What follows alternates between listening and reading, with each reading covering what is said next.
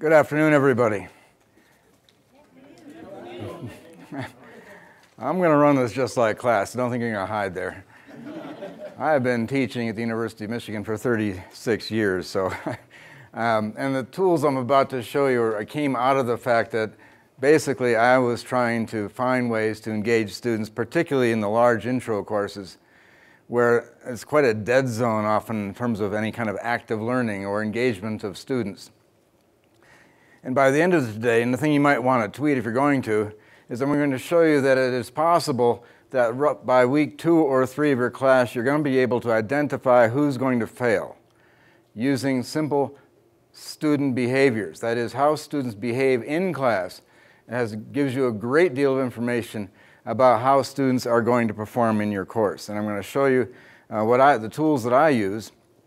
And also today, I'm going to be showing you how I collect the data from Canvas, as well as the data from Echo 360, which uh, allows me to do engagement in the classroom.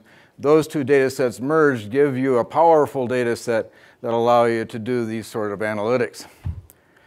So uh, title is about Fitbit for the classroom. This says is Fitbit is there simply as an analogy. That is a Fitbit. I'm not going to. The booth apparently is handing out Fit, not handing out. They have a drawing for a Fitbit. Go you go get one. But my interest is like a Fitbit, if we could measure everything, in fact, next slide should say this. Yeah. What if you knew everything your students were doing during class? How does that help you? And how does that help the student? Or how does that help the advisor for the student? That's the question I'm raising to you today, and we'll talk about it as part of this presentation. Now, often I, as the instructor or an advisor, any advisors in the room? Oh, one of you at least. Good. I'll speak just to you, sir. Because as an advisor, and stop me if I'm wrong, but you have some information available to you. I, as the instructor, have some information available to me, and it might include things about the students' grades that they're having in other courses. It might something about their background that they have, where they're coming from, maybe their grade point coming into the class. Uh, we might know something about the goals of the student. This student wants to major in psychology or other information about that student. I'm arguing that's not enough. It's not enough for me as an instructor necessarily, it's not enough for advisors, definitely. So the whole idea is how do we expand the amount of information that we can gather from the students' activities in the classroom? And Canvas and Echo 360 allow you to do that in spades.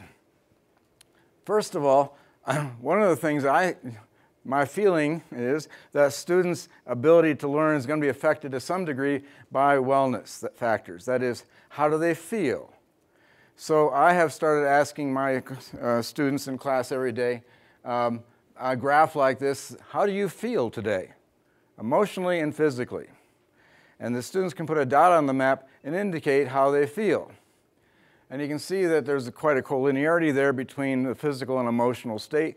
By the way, I asked them, and that first of all, they have to give their permission in order to do this. I don't want to just be gathering this data uh, without their permission. Uh, but I think I can mine this data over the course of the semester using a question like this and see the trajectory of how they feel and how physically they're working over the semester. And I use that for my research to understand to what degree these factors uh, affect student learning. Now, I'm not going to speak about that today. I'm happy to talk about it outside of this. Uh, but I, this is the kind of data we might want to start looking at because while there was no relationship between their physical state and grades, in fact, the only relationship in Ann Arbor was between the minimum temperature and their physical state. The colder it got, the worse they felt. Uh, their emotional state actually is related to their grades. Should we be collecting that? Should we even know that? Well, that's a whole other conversation I wouldn't mind having. So that's one factor. And the other factor I'm interested in is basically what is the student doing? I'm conducting class and I'm not using, I'm not doing a, let me talk about my class. I don't do a flipped class yet. I'm, I'm old. and I'm teaching in a more or less traditional way, but trying to make the class more interactive by posing questions during class so the students understand more what they don't understand. And by doing that, I'm able to measure their, their, their uh, understanding of the material as we go through. And from what they're, as I'll show you in a moment, the students are going to be engaged in their laptops doing a variety of tasks during class. And I'm measuring everything they do. On day one, I tell you, I'm putting a probe in you. It may not be comfortable, and I'm going to measure over the course of the semester what you're doing. And if you're uncomfortable with that, uh, you can you know, click and, and opt out or take a different course. But only eight out of uh, 250 students will do that. Most are happy to play along. And I'm able to collect uh, information about their behaviors during class. And their behaviors during class are, are unusually uh, instructive. Now, the kinds of things that students can do, of course, uh, before class, maybe you have them read material, view material, uh, video if you're flipping your class. Uh, maybe answer some questions, do homework, uh, maybe pose some questions. These are the things they might do during, before class. During class, they're going to listen, maybe. They're going to take notes, uh, answer questions. If I pose some, they might pose questions back to me. Uh, they might reflect on what I'm saying, and undoubtedly they're going to get confused. I'm teaching my courses extreme weather. I'm happy to say I'm a meteorologist at this meeting with a beautiful sky outside. After class, they reflect on their notes and they might again pose questions. There's a variety of things that students are doing as a natural part of participating in my course or in many courses. And what I'm able to do is measure to what degree they do these, when they do these things, how much of this they do, and does any of that matter? Which of these factors relates then to their learning, to their grades they're going to get in the class?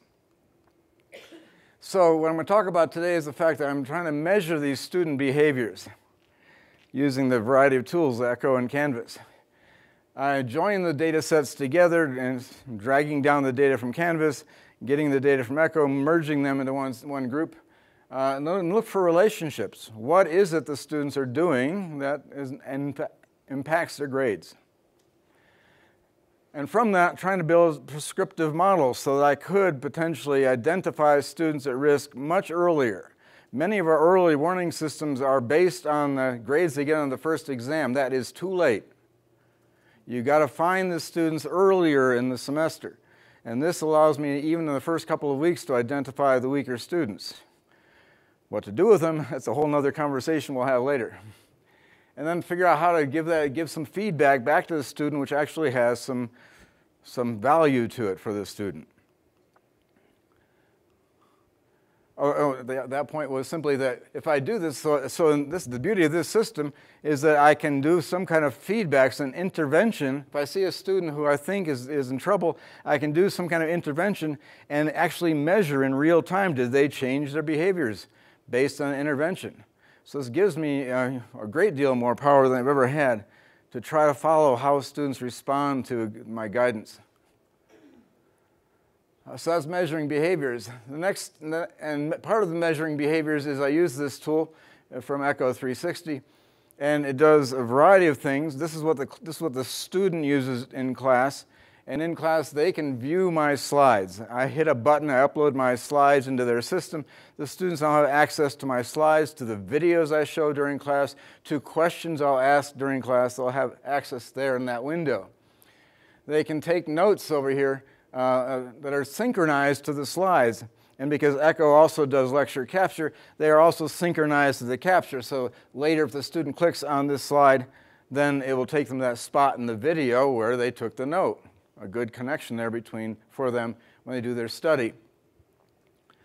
Um, they can pose, the students wanted this, it was their idea. They want to be able to ask me questions, which I found odd after the 30 some odd years I've been teaching, because students very rarely asked questions. Uh, and I thought, well, why would you want now suddenly to ask questions of me? I want, to, I want to talk about that for a second. Because I did some research. I asked the students on day one, how comfortable are you asking a verbal question in class? And it might not surprise you that half of the male students said they're comfortable, half did not, but less than a quarter of the female students said they were comfortable. so for the past 30 years before this, when I taught class and I'd go, any questions? And that's the response I always get. Absolutely nothing. Except maybe after I wait long enough, somebody in the front row might feel embarrassed and finally ask a question. So, the course of a year, I might get something like 10 questions submitted verbally. With this system, last semester I had 418 questions submitted. You know how sobering that is? For the previous 30 years, I would ask that any questions or no questions. I figured I just nailed that course, you know, slam this thing down to the, and do the victory dance because I had just nailed that class and they all got it. The reality was the students had questions, they just were intimidated to ask them for fear that they would look stupid around there. So by allowing them to do this, not only did I get 418 questions submitted, the females asked far more questions than the male students. Victory.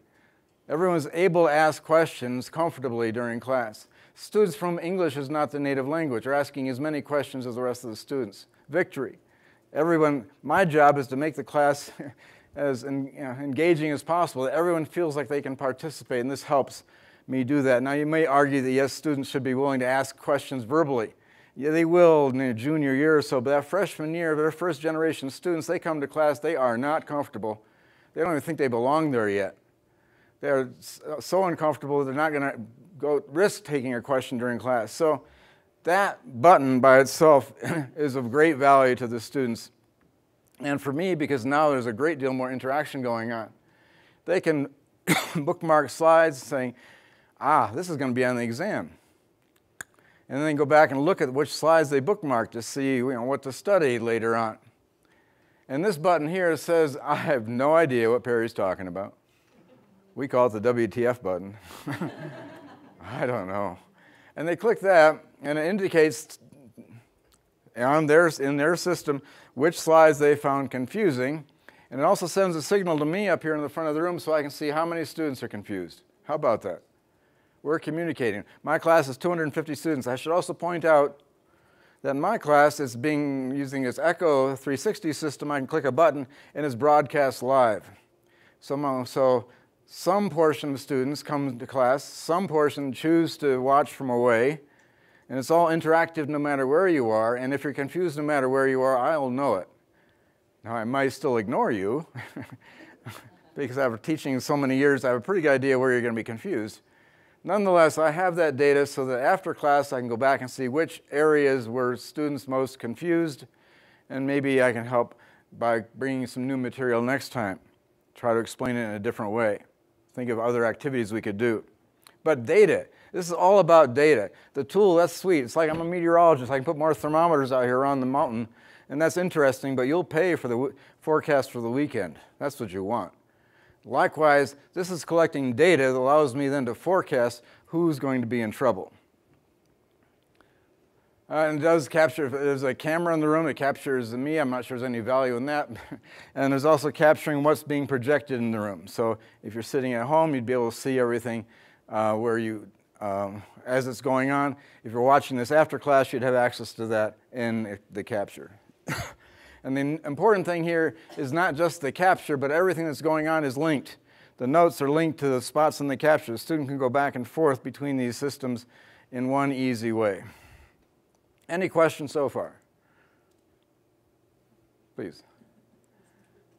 So this whole system here that you have that's integrated, that's the 360? Correct, and that sits inside of Canvas.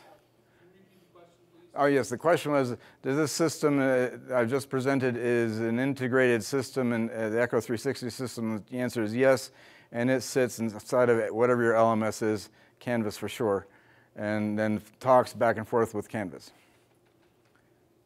Anything else? How many students bring laptops and engage in, in this? On, on How many students bring their laptops to class? I, this is, by the way, a voluntary system. I tell the students, I show the students this on day one. And I said, you know, if you don't want to bring a laptop, that's fine. If you forget to bring your laptop, that's fine. You can still take notes on paper and pencil, please do. Uh, when I pose questions in class, you can hand them in on paper. I'll give you credit. 93% uh, bring their laptops every day because they see value. Yes. They use any other device or just any device? Any device. All right. So here's the kinds of questions now I can pose. This, if you're a teacher, how many instructors do we have in here? God bless you. All right.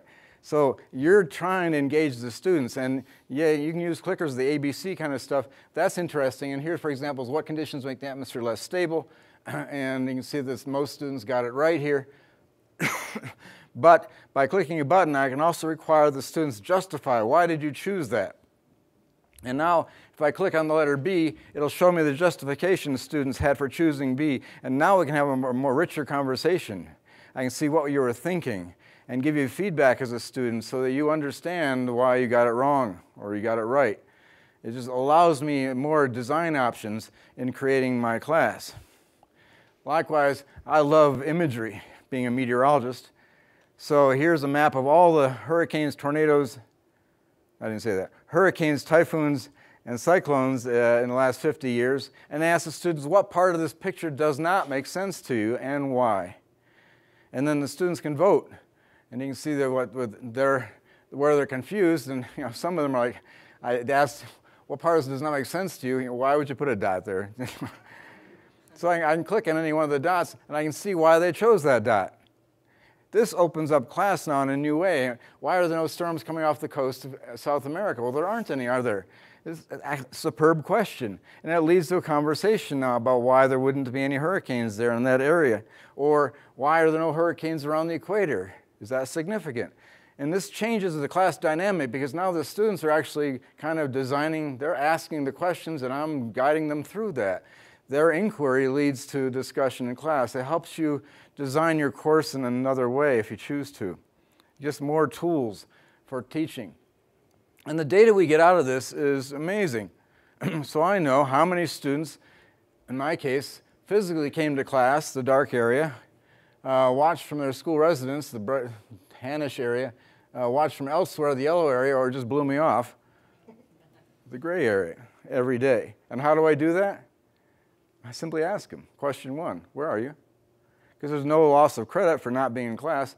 As long as you're participating, I don't care from where, in my case. So this kind of data at least helps me understand to what degree is watching from away maybe of less value to you educationally than coming to the classroom. I have information about how many students are taking notes every day, the dark blue area here, and how many words are each of the active students taking. So I think this tells me something about my teaching, where I see that the lecture on moisture had a lot of students taking notes and a lot of words that they were typing. It must have been either very confusing or ver verbose that day. And over here, air masses and fronts. Other days they're at taking a lot of notes. Here's a guest lecturer. You can see the data like you've never seen before about how much are your students engaged during class. That's individual lectures. Okay, Yeah. but not ordered in time? Yes, ordered in time. Okay. Yes, I'm sorry. And then your job is to, to pull these data sets together, and Echo is doing some of this, and uh, Bradley will talk about this in a moment. but we have in, in this ecosystem, you get data about, you know, did they look at the lecture capture? When did they look at that? Did they do bookmarks? Did they attend class? Did they pose questions? Everything the students are doing is going into this database. and this is uh, the Echo 360 part of the database. Then you have the Canvas part. So the Echo 360 part goes into, in our case, the University of Michigan, going into a central database. We also drag in the data from Canvas and from our student information system for background data, and then other vendors all come into this so we can collect the data and do some real research on what uh, is it the students do that affects their learning. now we're going to look for our relationships in this whole process. And the things we see, oh, here's good news for our we instructors. you, you, felt, you knew, you hoped this was true, but the more they come to class, or 33 classes my semester, the more they came to class, the higher the grades they got. Yay! this could have been really awkward. but you have real data that you can then show students. There is value. Here's numerical value right there for why you may want to come to class. And this, by the way, where I say attendance here, this is attending either remotely or physically, face to face. On the other hand, you're going to ask the question about remote versus physical. So the students who got above 90, 65% of the time they came to class. Watched from away 28% of the time. The students who got less than 70, they only came to class about a quarter of the time. Viewed from away about half the time or blew, blew off the class about a quarter of the time. That's another graph you want to show the students. You might, you know, why, are you, why aren't you coming to class physically? Because there seems to be some value in that. So without the data, you know, what do you, you just tell the students to work harder? What the heck does that mean? You know, you just failed the last exam. Whatever you were doing, do more of it is the wrong answer. We need to be able to give them some more specific information about how they might change their behaviors. Note taking, you may argue taking notes may or may not be important to student learning. There is a relationship. The students who took the most notes did the best on the exams with, with variability there. I would argue that's probably a weak measure because some students will take just a few notes and learn a lot, and others will try to transcribe everything I say and learn little but there seems to be some information there again that I can show the students why they might want to be taking notes. Um, this is very important. The percent of questions answered correctly. Now, if you use clickers or you use Echo 360 or whatever, this is such a dumb thing to say. but if you're posing questions in class and the students are getting it right, they're probably going to do well on the exam. On the other hand, if they're not getting it right during class, many of them don't take the time or have the wherewithal to figure out how to improve themselves. So here becomes your, the basis for your early warning system. Ask a lot of questions. Let them know what they don't know. Let you know what they don't know. And this gives you the basis from which you can now make some predictions about student success in the classroom. So the students that got more than 60% of my questions right, they got averaged 93. Whoa. I mean, my questions were not easy. And the students that got less than 30% right, hey, averaged 68. So a clear indication, again, show the students this or, or let the students see how they're doing compared to their peers in the class, that they might understand that they have to do some more work. And certainly the advisors ought to see that. This is the first time I think anybody's tried this stunt. I sucked in all the data from Canvas and the data from Echo 360. Said, all right, of these various measures I can get from the various systems, what is related to grades? And I've tried to indicate here, over here, I can do this pointer thingy, on the side, those which are Echo 360, like the activity is correct. How, what percent of correct questions did they get correct during class? And you see that by far indicates most of the mean square error in the student grades. That explains a great deal of variance in the student grades. How much do they view the slides during class? We measure everything. Did you look at all the slides? How much time lag between when I change the slide and you change your slide? All kinds of measures that we have in this system. And all these help predict the highest order here are these. And then the yellow ones down here, some of the canvas, the, how often do they go to the files menu, how often they use external tools, et cetera, uh, come into play. But the key here is measuring what students do during class. And that's the part that this Echo 360 system does for us, is why I built this lecture tools in the first place, which became this, was because this tool does what, you, what the LMS was not doing. Is a tool I could use during class. And the measures I'm getting back help me understand uh, student success far, far more in the classroom. Another measure that many of you are probably very familiar with is we can often predict students' grades based on their incoming grade point average. And this is a bit disheartening. It means that students who come in with a low grade point are bound to do poorly on the exam. That means I am doing nothing for that student. Somehow I'm not motivating that student to do well. And this relationship shows up in course after course. So what we looked at is turn the question around. How is it that student behavior varies as a function of their incoming grade point? That is, the weaker students, do they simply behave in a different way? And lo and behold, the students with a lower, with a higher grade point, they average, they act, answer some 85% of my questions on average. The students with a low grade point only answer about 65% of my questions. So the dramatic difference there in simply how students participate in class. As a, so it's not that they're necessarily cognitively weaker, it's just they're behaving in a way that doesn't allow them to be successful. I can see how much of the lecture captures they view after class. Well, the students, it's a 50 minute class. The students with a high grade point average some 22 minutes per class reviewing the lecture. The students with the low grade point, that's a one. That means they probably went to that site by accident thinking it was ESPN. So, oh my God, it's class, and got out as quickly as they could. so, dramatic differences there in how these students behave uh, as a function of incoming grade point. This one, note taking. The students with a high, I think this is words per class. The students with a high grade point, 130 words per class of notes. The students with the low grade point, that's two.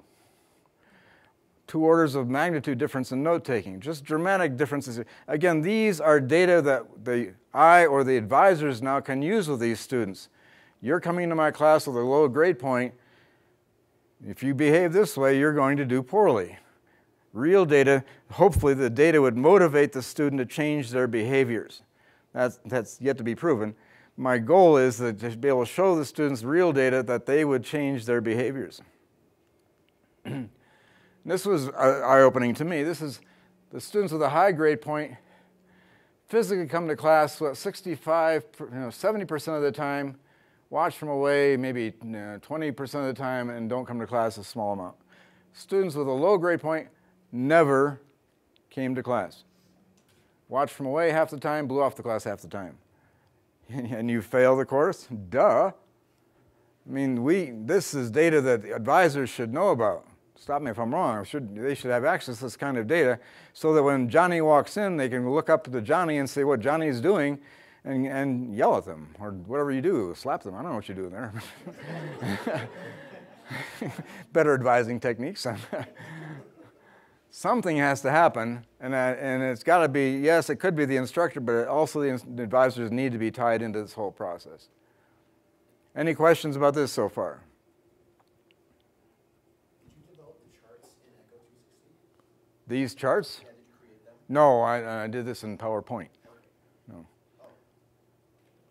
But you're asking, does, does Echo provide a dashboard which has this kind of information? The answer is not yet. but ask me again in the fall. Any others? Sir. Oh, you were talking about the students and how they did answering questions. Can they see that data, their own data of how they're scoring with Echo 360? Yeah, when the students answer the question, they will see whether they got it right or not. Yeah. I mean their overall numbers. Uh, You're asking, I think, is there a student dashboard where they can see how they're at? Not yet. Again, Doing for like the whole course. yeah, that, that's coming also. Something when we use it. Coming soon. Okay. and also in a dashboard for the advisors who would have access to this as well. But the important thing here is data, and somehow this data needs to flow to those, those populations. Uh, and yes, we need dashboards to do that, um, but let's get that data flowing, combine it with, and, and we'll talk about in a moment, Echo 360 and Canvas now working together to, to share these data. Quick show of hands, who thinks those dashboards are a good idea? I it, so I gotta know if it's working. yeah. Make him work. Make that man work. And then you build prescriptive models. All right, here's the model I used last semester in my class. It's really, this is the, first generation and stupid model. Don't write this down. Mileage will vary. this is the fraction they correct during the first two or three weeks of the class. How many questions I'm asking are they getting correct? And that, that was a predicting, prediction of their exam scores. We've become more sophisticated now in our pr- predictive schemes where we take in not only this, but other factors, including the Canvas data. And the combination over the first two or three weeks and now allows us to do this. this is for all the courses at the university. I want to repeat this. This is for all the courses at the University of Michigan. We're now able to predict with some 70%, 77% accuracy whether the student's going to fail the course or not by week three. And for me, this is this is this is you know I'm almost almost worried about saying that because it just makes me nervous. It's that, that accurate. But the potential there is that you could grab students who are going to fail and do something. Advisor would do something together. Somehow we have to come up with strategies for how we present these data to the student in a way that motivates them to change their behavior. But the fact that we can do this now gives me hope that we can, we need an earlier warning system. Well, here's an earlier warning system. Now what do we do? And this is where I'm looking for guidance and help and your thoughts about what we might do. So here's my simple solution to this. And don't laugh at me. The, I identified 20 students who are going to fail, and, and my solution was to take them out for coffee one at a time to hear the stories, what's going on. And they appreciated this. You know, they, I'm not sure it helped their grades yet or not. We're going to do that research in the fall. But just taking them out for coffee to hear the stories, to be, you know, my, it's my job, is to help students succeed. And if simply taking them out for coffee helps, then great. But at least this way, I'm hearing the stories of the students, understanding the, maybe the other challenges they have in their lives. And I think they do that thinking I'm going to be empathetic and lenient. that is so cute. the point is, you would have this the op- opportunity to take them out for coffee or to do whatever intervention you think is necessary. And then ultimately, we need to share these results because, yeah, I've got this data. Uh, ECHO has this data. You'll have this data. Somehow, we need to moderate the student behaviors, and report them out, create some feedback for that student, either myself or the advisor or a combination, and communicate that to the student. And again, the power of this is you do that, you do that intervention. And then from that day on, you can see whether it worked. Because you'll be able to measure from that time stamp on did the student change their behaviors in any way? And so you don't need a control group anymore. You're going to have the student, you're going to change, offer them an intervention and see what the change is in the classroom. That's the great potential here. And at this point, I'd like to pass the baton to Bradley Fordham, and he's the guy who actually makes this system work. So be nice to him. no, you don't have to be nice. Thanks, Barry. All right, so what I want to talk about today is we've got a great partnership with Instructure where we are now bringing the Canvas LMS data into the system as well. And we're doing that automatically, so you don't have to worry about how do I get it out of Canvas, how do I normalize it, how do I put it in a reasonable place, so we're doing all that for you. We really are starting now with a focus group, so we have a number of our customers in the focus group helping us decide what data is you know, most useful, less useful, and what kind of order we want to do these things in. The first thing that we're rolling out is this correlation report. And what it lets you do is take any of those behavioral metrics that Perry was talking about and see student by student how does that impact score. So we're taking the Canvas uh, current score in section number out, and you can plot that against the calculated engagement score, where in Echo 360 you can decide for your section how important are each of these you know, components in the final engagement score, and we'll calculate a weighted average. You can also look at each one individually. So how many notes did they take? How many bookmarks did they take? And you can see, you know, was there a good positive correlation between those engagement metrics and their score to date. And in most cases, we see that there really is. We're also looking at can we automatically calculate the highest correlated engagement score for you so that we could tell you what these should be set to to get the highest correlation. Make sense? This is one report of many. I mean, we're bringing over all the Canvas data and we're starting to figure out what else do we want to do. Um, it'll be a, a, pretty robust offering. Um, but that's the integration between Canvas and Echo. All right. If you'd like to join the advisory group, uh, please email Bill Holding. He's our product management head, or myself. Uh, I run the technology group. I'm the CTO. And we'd be happy to get you involved. We also have some leave behinds that we'll have available for you as you're walking out so that you can take something with you if you want to take something with you. Any questions? Yes?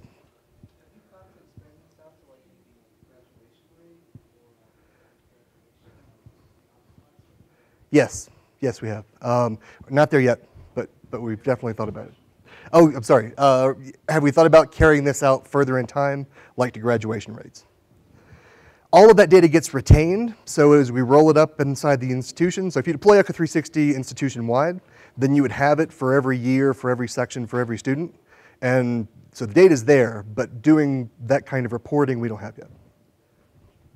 How old is The product The product is two years old. Yes. Uh, Echo 360 is about 10 years old. We were the ones who invented lecture capture at scale. So it's easy to capture 100 rooms, not no big challenge. Capturing 1,000 rooms is tough. You know, we, we do that very well. This is the active learning platform, yes. Yes. give me, give us a ballpark idea about what site license runs for the integration? Uh, there's actually two ways of doing it. Uh, one is for number of active student users. The other way is for site license, and we really probably have to talk to you to figure out what, which one makes sense. But you can do a site license not for the entire institution. If you wanted to do one school or one department, we can talk about that too. Sorry? If you have questions like that, we're down in the exhibit area. Yes, we are, absolutely. Good point. Yes? Uh, really, any demographic data that you want to collect, you can create one of our questions and ask. Um, we're not ingesting SIS data, so we're, we're not going to get that for you automatically. Yes? benefit of using something like this over a typical clicker device? Uh, much more robust question types, so you can do a lot of things that you couldn't do with the clicker, like some of the things that Perry was showing you. Um, also, it's fully integrated, which there's real power in that because by knowing you know what you were doing in a class and when you were doing it and what topic were you talking about when the student was doing these activities, it's very very useful.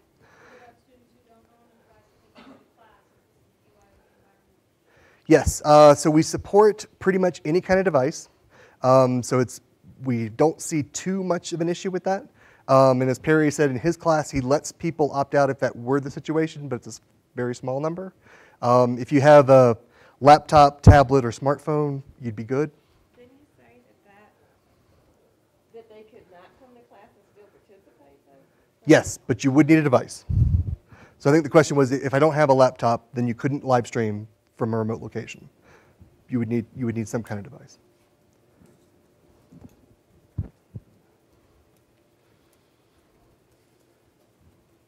Anything else? Yes. I I tweeted him a couple of questions while he was presenting. Well, that's what's happening in my pocket. That's me, so smile more often. Um, No, because looking at the data, I mean, sort of those folks who hang on to face-to-face classes matter. Because right now, I'm only teaching hundred percent online because I'm on leave to be director of our faculty center. And I just, uh, face-to-face is so much richer than online, because I don't think I'm the best online teacher. And your data kind of supports that face-to-face matters, at least when you give them the alternative. So are you considering taking this data and expanding it to, to start doing that comparative analysis? Yeah, again, given uh, uh, I'm, I'm in my final years, so I'm, I'm, I'm pro- so I, I would work with people who do the face uh, the online learning. Uh, and in fact, I'm open, by the way, to anybody who wants to do research uh, with these and work with you on doing doing the research, because I'm fascinated by how would this work if it was just an online environment. Uh, mine is this hybrid thing, and I'm I'm seeing that I worry, in fact, that the students who are choosing not to physically come to class, that we're actually creating a, an option for mediocrity by doing that. So online, when it's just online, I, that wouldn't be an issue as much. But how I have a hard time with online. I'll be honest. Online learning. I, if, if I'm sitting at home and listening to a webcast or something, the refrigerator is calling my name, and I, I've got to be there. So it's hard for me to focus, and I'm thinking probably that's true for many. So it's an area of research. So let me just make a couple of comments. Echo 360 really is a platform, all right? So many of these tools will get applied different ways and different kinds of pedagogies, and that's fine. That's what we intend. Um, we do have dashboards that expose the data. We have a way to download the data in CSV. Um, we don't have the rich dashboards that we talked about. We're working on now. And, and our institution is using your product for synchronous online learning? Yes. Um, synchronous, asynchronous, flipped classroom, uh, hybrid, uh, course overflow, if you can't get enough people in the same physical room, all those things. Hi, so do you break it out by year? So when you're looking at students who are weak in the first three weeks, are um, maybe freshmen who are suffering the most more likely to do something? Are you getting some senioritis with people not coming and not participating, get their fourth year students? The question is, do I also break it down by year? I have not done that. Uh, that's a good question, but there's just so much data that uh, if you want to look at that, I'm happy to share the data. Thank you all very much for your time. Thank you.